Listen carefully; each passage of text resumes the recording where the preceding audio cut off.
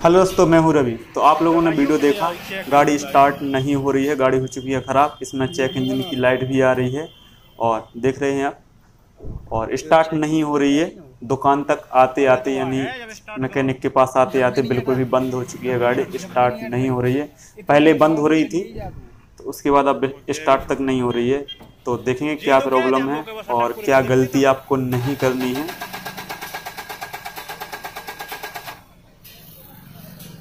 तो जैसा आप लोगों ने देखा स्टार्ट नहीं हो रही है गाड़ी। तो काफ़ी बड़ी प्रॉब्लम आ गई है इसमें, और एक छोटी सी मिस्टेक के कारण, और कितना पैसा लगा इसमें पूरा आपको बताएँगे एंड में। और इसकी जो टंकी है, आप लोगों को पता होगा, मैंने बताया भी था कि इसकी टंकी भी फूट चुकी है, यानी यहाँ से टूटी है। हम लोगों ने एम वगैरह से जोड़ दिया था, लेकिन फिर भी इसमें डीजल गिर रहा है तो उसको भी जोड़ेंगे।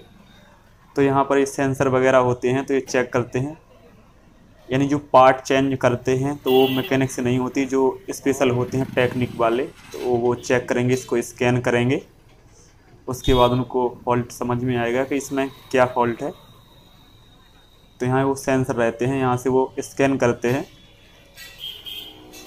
तो स्कैन करने से उनको प्रॉब्लम समझ में आएगी। ये चलते चलते बंद हो रही है, और दुकान तक लाते लाते बिल्कुल ही बंद हो चुकी है, यानी अब स्टार्ट तक नहीं हो रही है ये।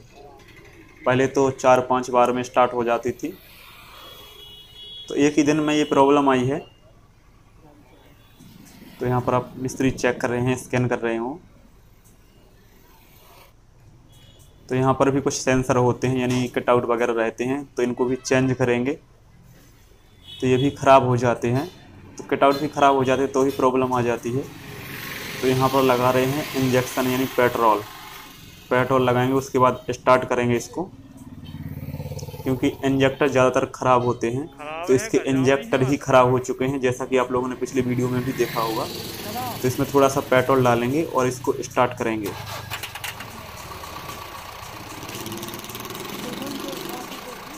तो पेट्रोल डालने से क्या होता है कि स्टार्ट हो जाती है गाड़ी। तो यानी कि इंजेक्टर इसके ख़राब हो चुके हैं। तो अब इस इंजेक्टर को खोलेंगे। तो मिस्त्री को समझ में आ गया है कि इसके इंजेक्टर ख़राब हो चुके हैं। अब उसके बाद फिर चेक करेंगे उसमें कौन कितने इंजेक्टर ख़राब हुए हैं।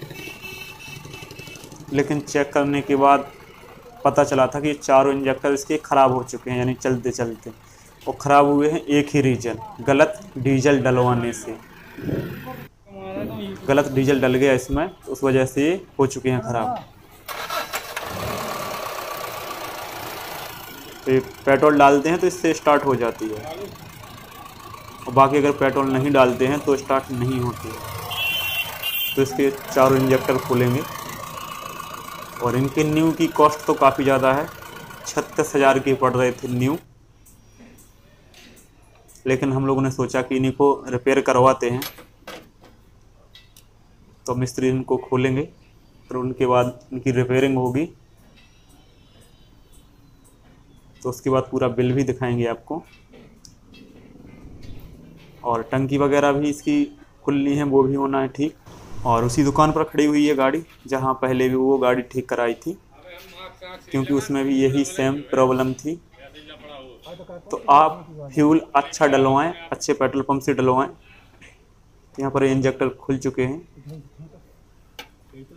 चार लगते हैं इसमें इंजेक्टर तो ये रिपेयर होंगे। और हम लोगों ने खोला, यानी कि मिस्त्री ने खोला तो यहाँ पर एक पर्ची भी निकली हुई है, यानी कि जो इसमें लगी थी, जिसमें पता चलता है कि हाँ गाड़ी का अभी तक कुछ भी नहीं खुला था। यानी ये टूट जाते हैं अगर खोलते हैं तो। तो जब भी पुरानी ले तो ये भी चेक कर लें। तो इसमें कुछ इन्फॉर्मेशन दी गई है गाड़ी के बारे में। बाकी ज़्यादा इसमें और कुछ नहीं है। तो इंजेक्टर खुल चुके हैं। तो अभी चेक होंगे कि कितने ख़राब हैं। तो यहाँ पर ये मशीनें लगी हुई हैं। तो यहाँ पर सारे इंजेक्टर चेक होते हैं, जैसे कि बस वगैरह और भी ट्रक वगैरह, कई सारी गाड़ियों के होते हैं। तो यहाँ पर ये लगाते हैं इसमें। तो इससे चेक होते हैं और ये तीन ये रखे हैं। चेक होने के बाद जितने भी ख़राब होंगे तो रिपेयर होंगे, लेकिन इसके चारों ख़राब निकले हैं। तो इसके चारों रिपेयर होंगे। तो साथ में गाड़ी की सर्विस भी होगी और इसका जो साइलेंसर वो भी टूट चुका है यहाँ से जाली से। और आधा तो गिर ही गया था। इसकी नट वगैरह ढीले हो गए थे तो इस वजह से गिर गया था। ड्राइवर ने ध्यान नहीं दिया और गिर गया था। तो इसको भी लगवाएँगे, इसकी जाली वगैरह, लेकिन आज नहीं होगा, वो अगले दिन होगा। और इसकी जो टंकी है, वो भी रिपेयर होगी। तो यहाँ पर टंकी भी खोल रहे हैं मिस्त्री, क्योंकि काफ़ी फ्यूल गिर जाता है इससे। तो यहाँ पर फ्यूल निकाल दिया है टंकी से, क्योंकि जो इसके जो इंजेक्टर ख़राब हुए फ्यूल, यानी ख़राब फ्यूल के कारण तो इसका जो पूरा फ्यूल निकाल दिया, इसमें दूसरा फ्यूल डालेंगे, पेट्रोल पम्प से लाएँगे, क्योंकि इसी फ्यूल में कुछ मिला हुआ है जिससे इंजेक्टर ख़राब हुए हैं, क्योंकि एक ही दिन में ये सारी प्रॉब्लम आई है, उसके पहले गाड़ी में कुछ भी कमी नहीं थी। और यहाँ पर ट्रांसपोर्ट नगर में ये दुकान है और भी गाड़ी खड़ी हुई है जिनमें काम हो रहा है। अधिकतर ट्रक वगैरह, बस वगैरह में यहाँ पर काम होता है।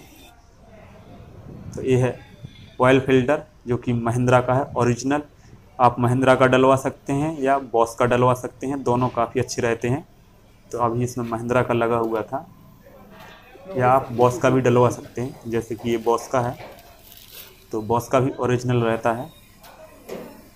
तो बॉस का भी आप डलवा सकते हैं आप। यहाँ पर आप इसकी प्राइस भी देख सकते हैं। क्योंकि जब भी इंजेक्टर बनते हैं तो टंकी का फ्यूल भी निकलता है और डीजल फ़िल्टर भी चेंज होता है। और इसकी सर्विस होनी थी तो हम लोगों ने इसकी सर्विस भी करवा दी है। क्योंकि इसका टाइम हो चुका था किलोमीटर चल चुकी थी गाड़ी। दस हज़ार। सवाल जवाब है। गोलू के संगे। तो आप महिंद्रा का भी डलवा सकते हैं और बॉस का भी डलवा सकते हैं। दोनों ही ओरिजिनल रहते हैं। तो गाड़ी में काम चल ही रहा है। ये है एयर फ़िल्टर जो कि ये बार बार ख़राब नहीं होता है। सिर्फ़ सिर्फ़ इसमें हवा लग जाती है, यानी कि जो पंचर वाले रहते हैं, जो हवा भरते हैं तो उससे ये साफ़ हो जाता है। तो अभी ये ख़राब नहीं हुआ है। ये भी महिंद्रा का है। तो इसको साफ़ करके इसमें फिट कर देंगे। अगली बार ये चेंज हो जाएगा। तो यहाँ पर ये टंकी बन चुकी है। यहाँ पर बेल्डिंग नहीं हुई है ये रांगा का तार होता है जो इसमें रखा हुआ है। यहाँ पर ये टूटी थी टंकी तो रांगा का तार इसमें लगा दिया है। यानी कि बेल्डिंग जैसा ही हो जाता है यहाँ पर आपको दिख रहा होगा। और उसके बाद ये एम वगैरह चिपका देंगे जो कि सूख जाने पर काफ़ी टाइट हो जाती है तो उस वजह से नहीं। तेल गिरेगा इसमें। तो यहाँ पर लगा दिया है कुछ ऐसी लग गई है। उसके पहले ऊपर भी फूट गई थी एक बार तो वहाँ पर भी लगाई थी तो अभी तक कुछ भी प्रॉब्लम नहीं आई है वहाँ से। तो इसको भी फिट करेंगे अब। तो तीन इंजेक्टर रिपेयर हो चुके हैं, एक इंजेक्टर हो रहा है तो जल्दी हो जाएगा। तो यहाँ पर चारों हो चुके हैं। तो कुछ ऐसे दिखते हैं रिपेयर होने के बाद। इसकी जो यहाँ पर आपको दिख रहा है ये वाला पार्ट, ये चेंज होता है अंदर तक। और बाकी इसकी जो बॉडी रहती है, वो सेम ही रहती है, यानी वो चेंज नहीं होती है तो थोड़ी थोड़ी बारिश भी आ गई है। तो निकलने के बाद इनको फिट करेंगे अब। तो अब इनको फिट करेंगे, उसके बाद गाड़ी को स्टार्ट करेंगे। और जो मैंने रीजन बताया है, गलत फ्यूल के कारण हुआ है तो आपको बायो के पेट्रोल पंप पे नहीं डलवाना है, और ना ही आपको दुकान से इसमें फ्यूल डलवाना है, क्योंकि दुकान वाले फ्यूल में मिलावट होती है, उस वजह से ख़राब हो जाते हैं इंजेक्टर और आपको बायो पेट्रोल पंप से भी नहीं डलवाना है, जिन पर दो चार रुपये सस्ता मिलता है। अच्छे पेट्रोल पंप से डाल, डलवाना है आपको डीजल, क्योंकि पूरा इलेक्ट्रॉनिक इंजन है, जिस वजह से ख़राब हो जाता है। तो यहाँ पर सब कुछ फिट हो चुका है। तो चलिए अब गाड़ी को स्टार्ट करते हैं।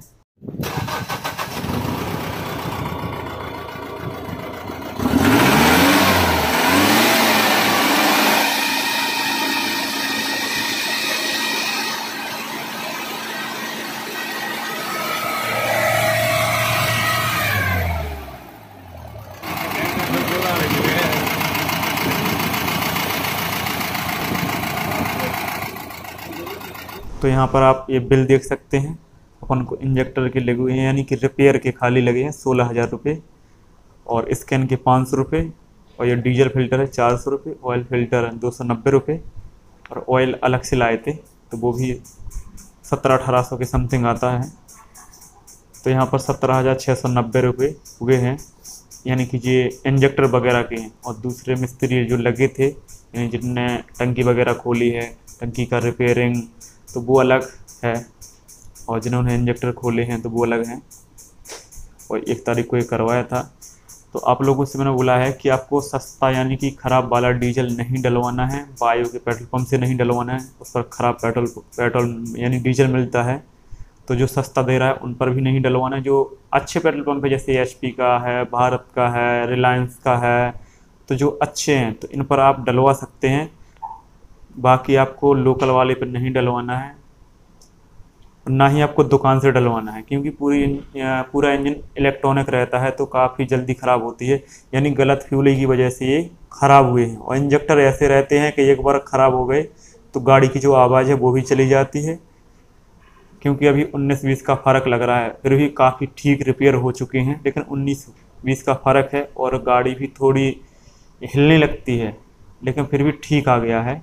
और न्यू लेते तो छत्तीस हज़ार रुपये के न्यू आने थे। तो ये पूरा बिल है।